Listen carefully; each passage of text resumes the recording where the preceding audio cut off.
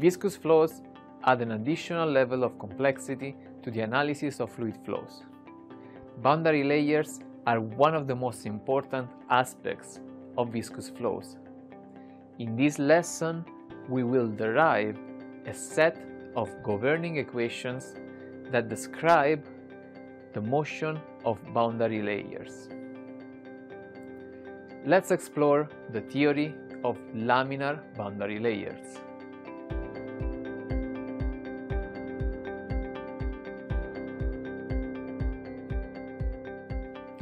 Present analysis is for a 2D steady laminar flow and can be extended to three-dimensional cases and turbulent flows.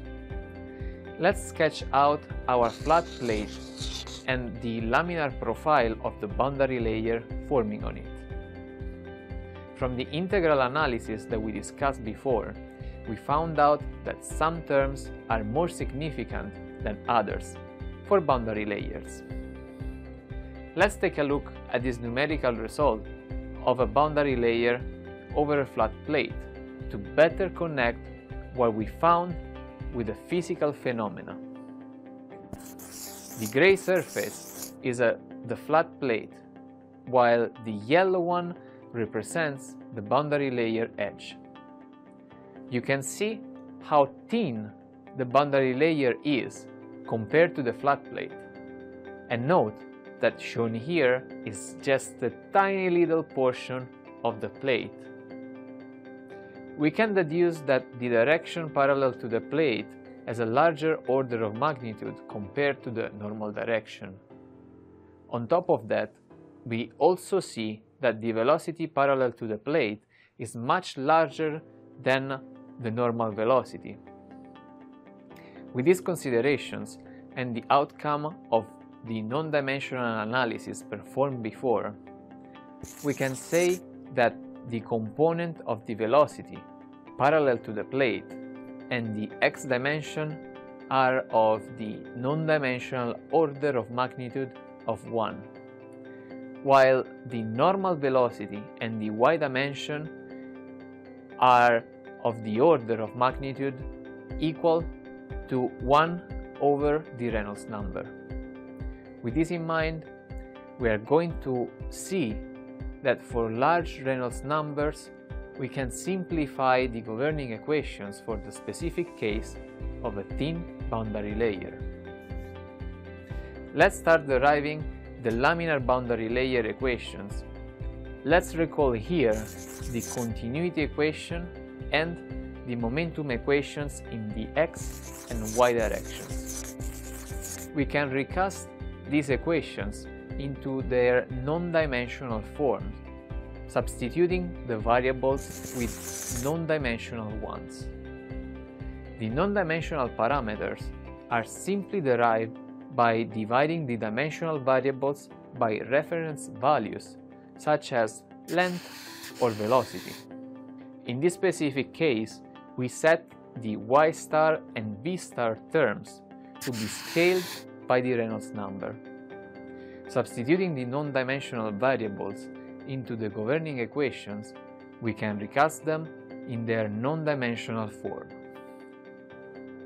Now, let's recall that a thin boundary layer exists if the Reynolds number is large. Under this assumption, we can neglect all the terms where the Reynolds number appears. This let us simplify the equations into this final form. As you can see here, the continuity equation does not change, and the momentum equation along the y direction tells us that there is no pressure gradient along the direction normal to the wall. It is possible to find the laminar boundary layer equations expressed in different forms, other than the one we presented here, due to different choices for the non-dimensional quantities. Here, for example, you can see that if the variables are not scaled by the Reynolds number, we will obtain this final expression for the non-dimensional form of the governing equations. And this it will be their dimensional form presented here on the right. For simplicity, the third equation here is not presented since it always leads to the expression of zero pressure gradient along the wall normal direction. So we have derived the governing equations for the laminar boundary layer and we can now solve them to obtain the velocity profile and estimate the shear stress acting on the wall. For two-dimensional flow, the shear stress is expressed in this form. Based on the dimensional analysis performed before, we can neglect the derivative of the normal velocity and obtain the simplified expression that can be used to estimate the wall shear stress. As you can see from the sketch, the gradient of velocity is stronger near the wall and so the shear stress, while both reduce as we move towards the boundary layer edge. An interesting point to note here is that when the wall shear stress is zero, it can identify a possible point of flow separation from the body surface. So let's recap what we obtained from the analysis of the laminar boundary layer equations. First of all, the simplification do not affect the continuity equation. Second, the pressure varies only along the direction parallel to the wall. Hence, the pressure can be calculated through Bernoulli's equation from the outer flow. Third, with all the second x derivatives vanishing, the equations become parabolic and this can simplify their numerical solution. The set of equations we derived has some limitations due to the assumptions we made in the process of deriving them. The equations are valid for larger Reynolds numbers in the laminar regime. The solution can be obtained for any Reynolds number, but it is not valid when the boundary layer becomes turbulent.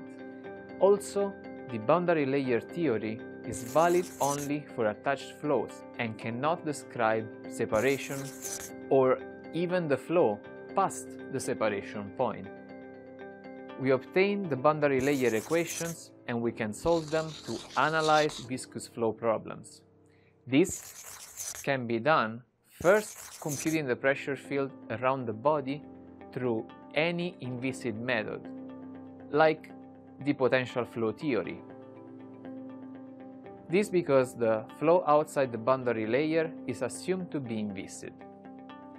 Then the next step is to compute the viscous flow inside the boundary layer using the equations we just derived and imposing specific boundary conditions, such as the no-slip condition at the wall and the free stream condition at infinity.